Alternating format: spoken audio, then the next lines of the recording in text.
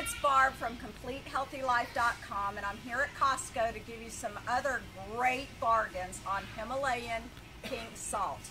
Now, the reason I like Himalayan pink salt is because it has 84 trace minerals that are embedded in the rocks. These are 250 million years or so ago that from ancient times, but it has excellent minerals in it. And we don't use, I don't use white salt anymore because it's bleached and we don't want that extra bleach in our body and it's just not nutritious at all, but our body needs these nutrients. So at Costco, this is $8.29, an extreme bargain, and this, which is, is the grinder, is $4.79.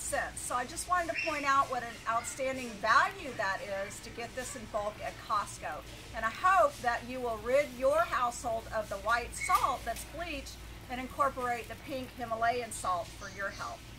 And if you want more tips on products, please join us. You can see us on YouTube and Facebook and, of course, at CompleteHealthyLife.com. Thanks for watching.